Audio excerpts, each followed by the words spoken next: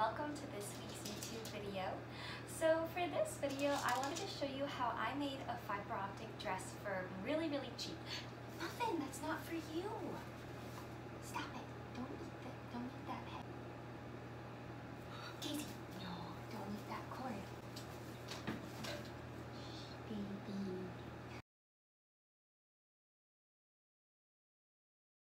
Hi everybody, so I wanted to show you how I was able to make my fiber optic outfit for relatively cheap and how you can make your very own for yourself. The summer of 2019, I started planning out my Halloween costume for that year. I knew that I wanted it to have LED lights or fiber optics, but I wasn't really sure how to make that work. I did a ton of research. I watched YouTube videos, I looked up listings for products, and I just went through Google Photos in general, as you can see here. I was searching like a mad person, reading any article I could about fiber optics in fashion. I'd found a wonderful article talking about light whips and how they could be worked into garments to make something that lit up. But unfortunately, it was a bit out of my price range at the time. So that year for my Halloween costume, I just opted to add some battery powered fairy lights to my costume and I just safety pinned them to the inside. That way they could be taken out and used in other projects later. Then last year, Crescent Shay, who is on YouTube, Instagram, and TikTok, I believe, made an amazing light up ball gown out of fiber optic fabric. Then fast forward to this year and the company Luma Sonata, I, I probably didn't say that right, Luma Sonata, I, hopefully that's right, um, they started gifting fashion and costuming influencers this light up fiber optic fabric. So there have been so many people on the internet lately making these light up gowns and it reminded me that I never ended up doing anything with fiber optics and I would still really really love to do that. Little 2019 me absolutely wants to do this project. So I started doing a bunch of research a couple months ago and and I was looking into buying my own LED lights that are not pre-wired and I was going to try and figure out how to wire them all and do basic electrical things. Um, as you can see though, I obviously do not know very much about these electrical things and in the end I realized that I could just use a battery pack powered LED wreath light uh, from the Dollar Tree. I'd actually bought these light packs before the Dollar Tree went to $1.25, so that was really fortunate of my hoarder-like tendencies to do that in advance. If you're unable to find anything at the Dollar Tree, you can always buy these LED lights at Walmart. They have something similar during Halloween and Christmas. I bought some of this black electrical tape and I bought, and then I also bought some of this coiled fiber optics. Um, it was less than $10 and it seemed like a pretty good starting point. And at the end of the day, I actually had enough to make the whole costume, the bodice and the skirt, without having to buy more. So this is a pretty affordable project, especially if you can't afford to buy um, fiber optic fabric. Now maybe you've been watching this pumpkin and you've been wondering what it is. Well, it is fiber optics. Um, I've had this since I was a small child and I've always been absolutely amazed by fiber optics and how they work. Um, it's really neat. You can see all the fibers on the inside. These are end glow fibers, so the light travels through the fiber on one end and comes out the other end glowing. There isn't a lot of light escaping from the fiber, but rather from the end of the fiber. If you plan on making this project, I definitely recommend getting end glow fibers and not side emitting fibers. If you want some light to escape on the sides, I'll show you how to do that later on in the video. The very first thing I did for this project was to take my LED string lights from the Dollar Tree, pop in some batteries, and turn them on. The little colorful plastic decorations can be taken off to see the exposed light bulb. Now fiber optics do not create their own light, but instead light is able to travel through them. So every time the tip of this fiber is touched to the tip of the light bulb, the light starts traveling through the fiber and comes out the other end. You're able to also add nicks with sandpaper, scissors, or anything sharp so that the light is able to escape from the length of the fiber. Something else that's really neat about these fiber optics is that you can send any colored light through them. The weaker your light source, the less light that will come through on the other end, but if you look closely, you can see a little red light. In this clip, I'm actually using daylight. I'm just touching the other end of the fiber to the window. As I said earlier, if you would like the light to escape on the length of the fiber instead of just at one end, you're going to have to nick it. I use an X-Acto knife and I individually scratched and nicked each part. Once I had done my little experiments with the fibers and figured out how to use it best, I started sewing fibers down to a piece of fabric to try and figure out how I could best attach it to my bodice. I did this by using a tight zigzag stitch. Okay, I'm not in total darkness because I'm not really sure um, if you'll be able to see the stitch lines and the fabric if it's in total darkness, but this way you can kind of see a little bit of both. Really, really bright parts don't show up super well, um, but yeah, it looks pretty cool. I'm gonna see if maybe it looks better if you look in the mirror. Okay, I feel like that actually does help a little bit. Um, you can still kind of see the bright parts. But yeah, it looks pretty cool. This is where I have a bundle of like four, and then these are all individual fibers. I'm thinking I might be able to do some like cool designs and swirls and things that you don't typically see on fiber optic dresses because I have the power to make this however I want. I can sew the base of the bodice with whatever seam lines I want without having to worry about fibers being cut and then I can go in and add all the fibers in later. Stitching over the fibers didn't really seem to dull anything or make this any worse. Um, and if I use a clear thread, that might add a neat effect as well. So I really, really like this because I'm going to be able to do some really cool things. What if I tried spelling a word with the lights? That would be absolutely amazing. Like on the front of a skirt or the bodice, just like a really big word, like glow. All right, here we go. I've been having trouble with the fibers kind of slipping out of their out of their little electrical case out of their little electrical tape casing and the fibers just don't want to line up perfectly. The more I play around with this, the more it kind of shifts in and out. So what I want to do is melt all these fibers together so that they're one little lumpy knob and that they're all in like a bundle. Um, I'm just gonna do that with fire. And I'm right out here by the pool so I can just yeet everything in there if something goes wrong with the fire. I don't know if this will work. Uh, this might actually make it worse and the light might not be able to travel through because it's going to get stuck and dispersed in the knob. Or it might actually help the light get through because it'll have a bigger point to shine into and then shine down into the fibers. So it'll be interesting to see. Oh. We're just gonna heat these. Ah, no, no, no, they're melting. Well,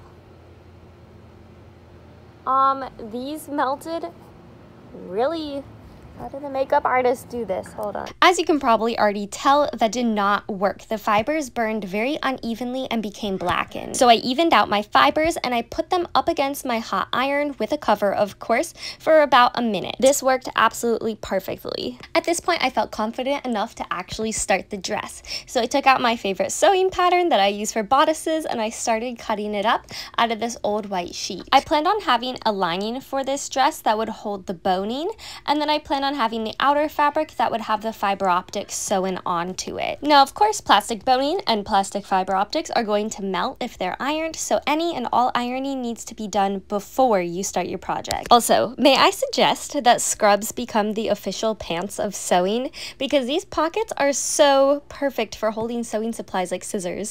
Hello everybody and welcome to my sewing channel where I will be showing you how to show sew things and stuff like that. Also, if you like shoes and you want to see some really cool shoes, check out this video.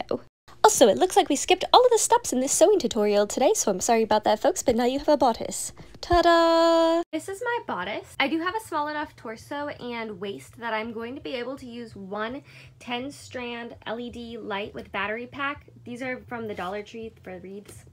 I feel like I already probably will have explained that in the video at this point. Um, but not knowing what editing me is doing, that's what this is. I took off all of those little dragonflies, so now I have my nice smooth flat lights. I've figured out that I can fit about eight fiber optic fibers onto the end of each light from my experiment earlier, so that melted down fits perfectly like that. Really, I don't even know if I'll need that many, but because I do have the lights so close together, I might as well make use of them and add in as many fibers as I can. I separated my lining from my outer fabric, that way I could put the boning in the lining fabric later and I could sew the fiber optics onto the fashion or outer fabric at the moment. I was going to sew them all up and down the length of the bodice, and I also made sure to leave a nice little tail so that I could bundle the fibers at the end. And again, you're just going to change your stitch to a zigzag zigzag stitch and go right over the fiber. From what I can tell, this did not add any nicks or dings to the fiber and it was perfectly fine. I did end up sewing fibers onto both sides of the bodice, but here you can just see the left side and there's a little bit of a close-up so that you can see those zigzag stitches better. It's a little messy, but it worked. Once all of my fibers were sewn down, I just started to bundle them with electrical tape. I just took a little bundle and started to tightly wrap the tape around. Then I cut off the end so they'd be nice and even. Then it was just a matter of melting each of those bundles together so that they would have that little knob on the top. I would definitely recommend doing this in a ventilated area. I have all of the fibers on my bodice pieces bundled, uh, taped up, and I ironed all of the end bits. So that's good to go. Now I'm going to tape everything to the light source. So yay! This was pretty much just the same process, taking the electrical tape and winding it around the light and the fiber bundle very tightly so that they wouldn't fall apart. Just make sure that your light strand is nice and straight and nothing's tied up and tangled. Here's a little sneak peek of the bodice in the light and in the dark. Alright, here's a better look of the bodice in the dark. I really don't like how the end glows look here. I really wish I had done something different, but you know what? It is what it is. Some of the fibers aren't releasing any light. They're releasing all of the light just at the tip. Um, but that's fine because I'm going to go in and nick it and everything. You can already see some of those nicks. You can see some of the fibers are really, really glowing, almost like a side glow, and I don't know why that is. I love how I added the curves, but I'm really regretting that I didn't do a heart I wish I had done a heart. But you can see, I mean, it has good glow. Like you can see, can't see my face, but you can see anything that gets near it. And it's just gonna glow better once I add in the nicks. This shot is not really relevant to the tutorial, but I just wanted to show you because I think it's so neat how the fibers will glow in a shadow even, but they won't really glow in light. So I don't know, I just thought it was cool and I didn't want to cut out this clip. I've inserted the boning into the lining. Right now you're looking at the insides. This is the outside. Um, I have my fibers sewn on this side and then I've just kind of folded these up in the way that the wires kind of want to bend. I don't want to put an actual crease in them. I want to let them curve in. So instead of going straight up, I'm kind of curving to the left or the right and that helps them lay flat. I'm going to sew this all in by hand, just kind of like tack it down and then I will bind these together. Yeah. The problem is, is you are going to see the black, but I don't think it's going to matter too much when it's lit up, hopefully. I really wish I had had a blackout curtain because my original plan was to do a layer of blackout curtain in between these two layers, but I just don't have a blackout curtain. Um, I was thinking maybe felt or something would have been nice and thick, but oh well. I kind of originally wanted to make this dress in black as well, and I'm wishing that I had made the corset in black because it would be thicker. Like this white fabric is just really thin. Um, but I didn't have any black. So just a little warning for you guys, I expected the bodice to shrink from all the zigzag stitching on the top, but I didn't realize it had shrunk this much until right now. So this is the bodice. Normally I put the boning in the um, fashion layer, but I chose to put it in the lining. That way I wouldn't have to worry about zigzag stitching the um, fibers over the boning. And then I did top stitch on the outer bit. And look how much it's shrunk. It didn't shrink too bad left to right. Surprisingly, I feel like this is the opposite way I expected it to go, but it shrunk top to bottom. Anyway, I just used some thrifted binding for the bottom and then I sewed in some loops for the back. I also finished adding in all those little nicks onto the bottom, which are very much worth it, but also very, very time consuming to put in. Next time I make something with fiber optics, I want to try different methods for adding in nicks, um, maybe like sandpaper or something, but I'm not sure. Now for the fiber optic skirt. I made 10 little bundles and each of these bundles has eight fibers. I made these the same way as the bundles on the corset. When making these bundles, I wanted them to hit right under my knee and I also cut them at different lengths so that it would add more dimension and movement. Just like the corset, I just took my bundles to the iron and melted them together to make sure that there wouldn't be any loose hairs, aka fibers, slipping out of the electrical tape casing. I will have to say that this was a hundred times easier to make than the corset and you don't even need any sewing skills for this. It was just so much fun, 10 out of 10 recommend. Then I just taped all of my bundles onto the LED lights and my job practically dropped to the ground. I was so excited. It was just so pretty and magical. Don't get me wrong, the bodice is really neat, and even though there are a lot of things I would love to fix on it already, it was pretty good for my first attempt with fiber optics, but the skirt is where it's at. The movement just adds a whole nother element to these fiber optics,